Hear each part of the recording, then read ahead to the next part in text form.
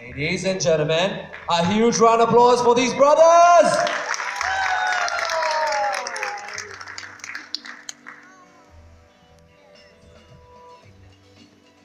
A kind reminder once again, why don't you go onto your Facebook page, like Kenya Arts Festival, and you can share that with your friends and your family. Post a picture. If you're taking a video, why don't you post it on our page as well? And you can share with all your friends and your family. It's Kenya Arts Festival on Facebook. Like it, share it, send your feedback, and we will share with you all the updates for the Ismaili Arts Kenya Festival 2018.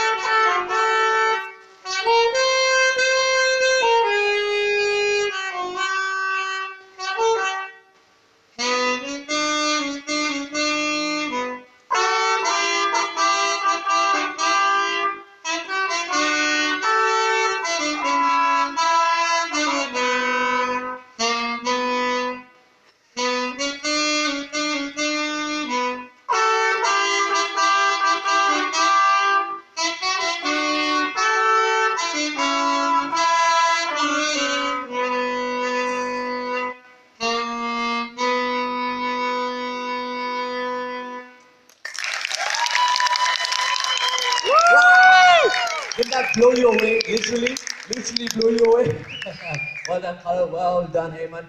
A huge round of congratulations to you and a huge round of applause for their confidence. Aymaan, Aymaan and Khaleel, wait, let me ask you two questions here. Let me grab your mic. So, Khaleel, okay, you can tell us. How long have you been practicing this particular Um, piece? We've been practicing this particular piece for about three months now. Wow, and we saw that in the video. You have a training teacher. Yeah. What's his name? His name is Julius Odhiambo. So he's been training you for the last three months as well. Yes. Aymaan, why don't you tell us what this piece is called and what it's about? piece is called Voiceless Cry. Um, so it starts off as a slow part when the children are feeling inside them that they're crying, that they're not heard by other people. Yeah. And then there's the fast part where he goes with a cry. So now they're crying for people to hear them. And then the salsa part is when people have heard them, or one child, and then the child is celebrating. But then it goes to a very fast part when they're celebrating even, even more. And then the slow part comes again when uh, the, the child feels bad that only he has been had, but the rest haven't been had. Wow, such expressions that are shared form this piece. Thank you. That's it's called a voiceless cry. And why why particular this piece? Why what inspired you to perform this in front of the whole audience? Um, we went for a trip and then we saw some kids, you know, very sad and they were miserable, and so we thought about that and we. So you did it for them. Yeah. Wow. Huge round of applause once again and the best of luck in your journey to the next round. Thank you so much, Aymaan. Thank you so much, Khaleel. And I wish you the best of luck into the next rounds for the nationals and the internationals. Let me remind you, from here through the auditions, whoever gets selected to the next round, for me already, these are winners. Every single person who comes on this stage is already a winner. Don't you think so, guys? Yeah? That's more like it. Exactly. Whoever comes on this stage is a winner. And then they go on